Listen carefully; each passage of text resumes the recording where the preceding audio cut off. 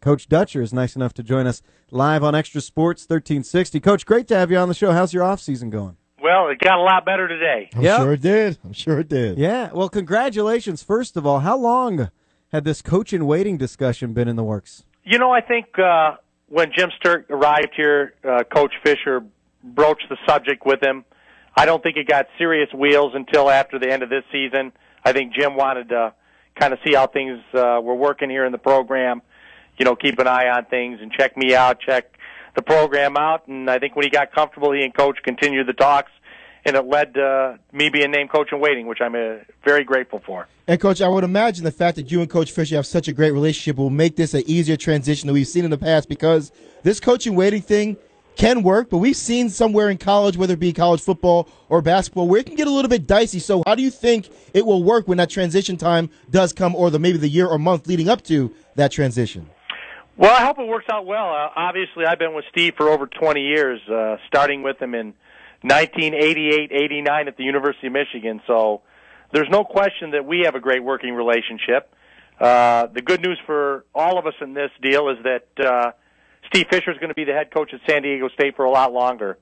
I don't think uh, by having the uncertainty of who would replace him, you know, Steve's always been so great to me. He might, who knows, he might want to leave early just to give me the job. But now he's got the the chance to coach as long as he wants, and uh, know uh, that uh, when he does step down, we'll have continuity in the program, and I will be the next head coach. Great news today on the Mesa. Aztecs assistant head coach Brian Dutcher is our guest.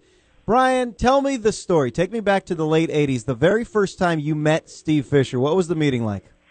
Well, I'd actually been hired to Michigan by uh, Bill Frieder, and Steve was the other assistant. So uh, I came in a little bit on equal footing with Coach, even though he was the more experienced assistant. Wow. We were both assistants together at Michigan, and then it was the the the unpredictable predictable ending to the season. Well, Bill Frieder left. Uh, Steve took over, and he, I, and Mike Boyd, our other assistant, uh, won the national championship in 1989. Probably the only time that will ever happen. Man. So we we hit the game, we hit the ground running together, and uh, we've been running ever since. So that's 1989, and then in four years, let's just say you're the head coach. Has that always been your plan, uh, your career path? Have you always seen yourself as a head coach, even though I know you enjoy your role? You know, I've never tried to get ahead of myself. Uh, I've always enjoyed the jobs I've had. I love being an assistant at Michigan. Uh, I came out here with the intention of just enjoying being a assistant at San Diego State, and if I did my job well and the program was successful, uh, I know good things would happen for me, whether it would be here at San Diego State like it has or someplace else. So I've never tried to get too far ahead of myself. I've always enjoyed uh, the work I've had and the people I've been around. Coach, let me ask you this: You are you and Coach Fisher al- al- alike enough where this situation won't come up? And let me just paint this for you.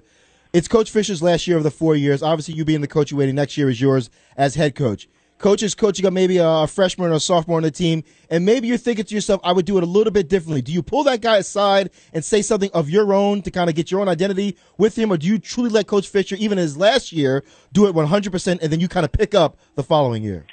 You know what? The the real strength of Coach Fisher and the reason his assistants have always enjoyed working for him is because he gives us an active role now. I mean, there are some programs where the head coach does all the work, the assistants stand around and watch and learn by observing. Coach Fisher, you earn your stripes uh, when you prove yourself competent in an area. He lets you run with it, and so we're all able to coach now.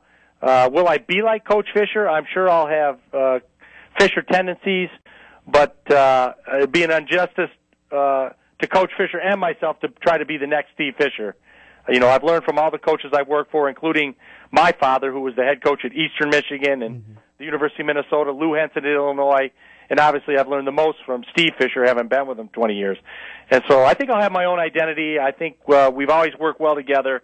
Uh, all the assistants here over the years have played well off each other and uh, it, it's been just a, a magical ride here at San Diego State that uh, we're all hoping to continue over the years. He is Brian Dutcher, Aztecs assistant head coach, coach in waiting.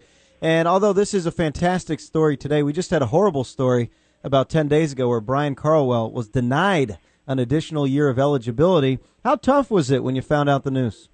Well, obviously, hardest on Brian of everybody. Uh, I think in his own mind, he didn't want to hold out too much hope about getting that uh, that sixth year, but I think in his heart he wanted it. So I think it was very disappointing to Brian. Uh, you know, we we put a good appeal in. Jay Larson, our compliance officer, did a wonderful appeal. Uh, I think it could have been easily uh, granted, but the NCAA looks at each case individually, and they just felt that uh, it wasn't strong enough to grant Brian that year. So now we're trying to help Brian uh, uh, get a gig in Europe, try to get uh, a professional opportunity overseas where he can start uh, uh, making a little income playing basketball. Yeah, it would have been great to have him back. Just had a little a little length and some body size, not to mention some veteran leadership. But coach, let us know what we're going to see from this team this year. Will it be a bit more up and down, faster, a bit more perimeter with the jump shots, being that you know you don't, you don't have the length and you lost a number of guys who were key to last year's team. What will we see from this year's Aztecs basketball squad? You know what? The the beauty of college basketball is that you turn the team over every four years, and sometimes sooner than that if a guy like Kawhi goes pro. So as a coaching staff, we're excited to see what we have. We'll start workouts this week. The first day of class was today. We'll start working the team out on uh, Thursday, and we'll start to get a feel for what they do and what they uh, bring to the table. So it will be a, a work in progress. Obviously, we know we have great experience at the guard position back with uh, Chase Tapley and, and uh, James Rahon. Uh, we have Xavier Thames and LaBradford Franklin back and uh, Jamaal Franklin. So we've got good guard play. We're going to have to see what our bigs are able to bring us. If Tim can stay healthy, if there are new bigs, uh, what their strengths are, and uh, we'll just build it from day one and and play to our strengths. That's the one thing that Coach Fisher does. He's not a system coach. He finds out what he has, and he finds a way to make them successful. Hey, before you go, I do want to ask you a little more about Chase Tapley. Obviously, he came in the same recruiting class with Kawhi Leonard, one of the great players out of Sacramento.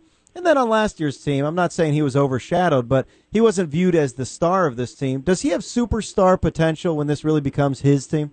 Chase Tapley can score the basketball, and so can James Rahon. But obviously, uh, we would have been uh, not doing our job as coaches not to give Kawhi the majority of the touches. And uh, he got more opportunities than those two. But I think as their opportunities grow and their uh, the plays are run more for them, they'll prove themselves uh, valuable college uh, basketball players and great scorers for the Aztecs this year. Coach, congratulations to you and Steve Fisher. We do appreciate the time. Wishing you guys the best. Thanks a lot, guys. I appreciate it. You got it, Coach.